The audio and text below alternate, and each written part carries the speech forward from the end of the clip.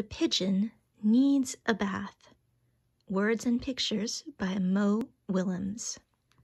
I do not.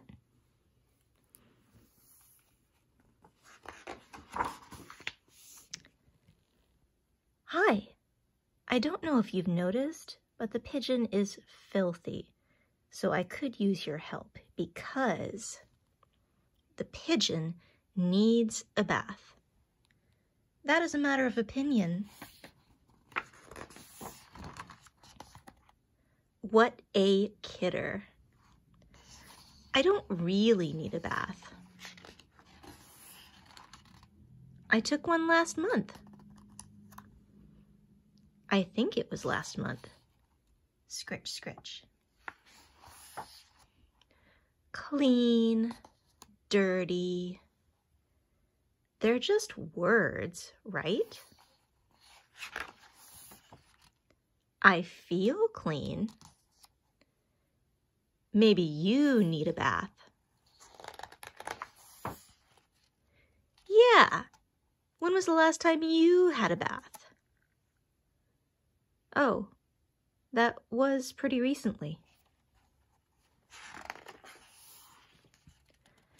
Life is so short. Why waste it on unimportant things? Like taking a bath. What smell? I don't smell anything.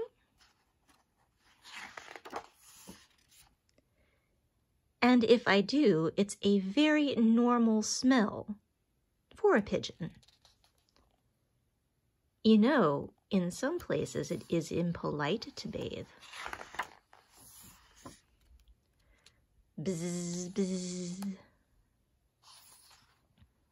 All of these flies buzzing around me are purely coincidental. Bzz, bzz. P.U. Yuck. Let's get out of here. Take a bath, dude. Okay, fine. If it means so much to you, I'll take a bath. Whoa. I'm not going to like this one bit.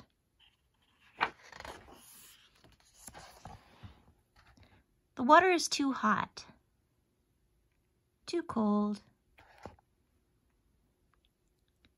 too lukewarm, too hot, too wet, too cold, not enough toys, too many toys. Too deep? Not deep enough. Too cold. Now it's too hot again. Too reflective. Well, I guess this is okay. That is still too hot. Splash.